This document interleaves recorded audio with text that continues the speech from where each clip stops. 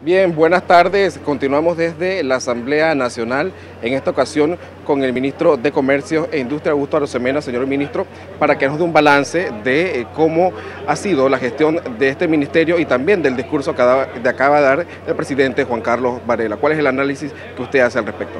Como no, sí, muy, buenas tardes. Primeramente creo que eh, en el discurso del presidente se notó claramente todos los trabajos que se han venido realizando, cómo hemos venido avanzando en temas de seguridad, en temas de obras públicas, temas de educación con el Instituto Técnico Superior del Este que ya está empezando. Y el presidente le insta a todo el equipo de gobierno que redoblemos esfuerzos para seguir llevando adelante una excelente gestión. Ministro, un caso eh, que generó muchas reacciones en el 2016 fue lo ocurrido con el grupo WISA y, los Wacket. Ahora mismo hay un eh, grupo editorial GS que está próximo a vencerse de su licencia. ¿Qué va a pasar en este caso? ¿Qué análisis hace al respecto? Sí, el presidente en su momento actuó de manera muy rápida, designó una comisión de la cual eh, formó parte en conjunto con el ministro de la Guardia y el ministro Carles.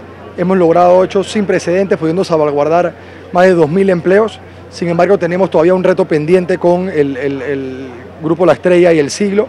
Hemos instado formalmente por distintos canales a las autoridades de Estados Unidos para que puedan renovar una licencia a largo plazo que le permita seguir operando y que, y que podamos seguir protegiendo más de esos 200 empleos que tiene el, grupo.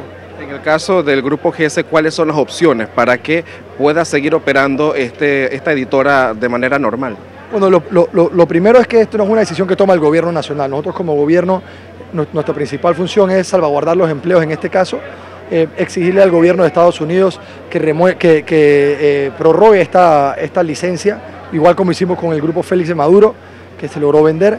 Y lo que estamos buscando con el grupo GS es buscar una solución a largo plazo, que a ellos le permita poder hacer sus compras de inventario, de insumos, que los empleados no tengan la zozobra de, tener una licencia cada seis meses que estar prorrogándola y buscar algo que, que mantenga y que proteja la libertad de expresión caso que surgió en el año 2016, precisamente en abril, el tema de los conocidos Panama Papers, eh, un caso, un escándalo internacional en el que Panamá se vio envuelto cómo resolvió el gobierno panameño esta situación, toda vez que a nivel internacional se han dado muchas medidas, sin embargo aquí en Panamá aún vemos que no se han dado muchas luces al respecto, no se eh, sabe más de las investigaciones que se hacen en este caso.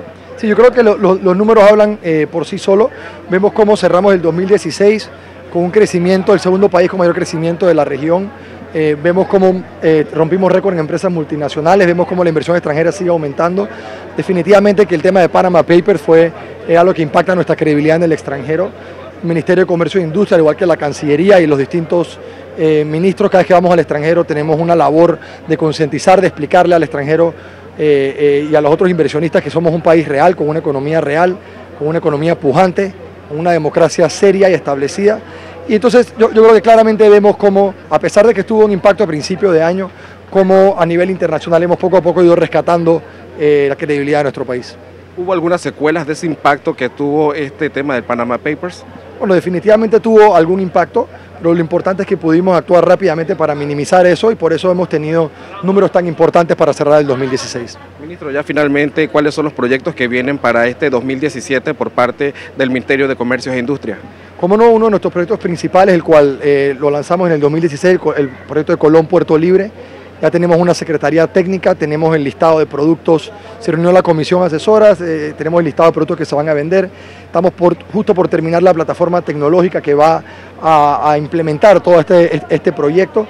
Y entonces ahora nos, nos, toca desarrollar el plan maestro, salir a mercadearlo para que inversionistas puedan venir a renovar Colón, trabajar junto con la comunidad de Colón para que puedan expresar su cultura, su turismo.